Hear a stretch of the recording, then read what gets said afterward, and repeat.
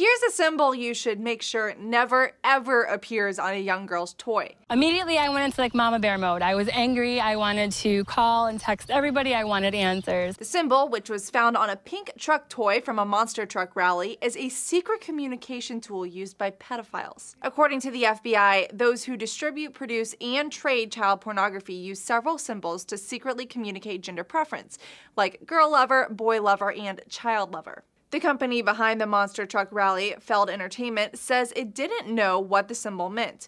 WFLA reports the toy has since been pulled from shelves, and there's an investigation to find out how it got on the toys in the first place. For Newsy, I'm Lexi Hamusfire.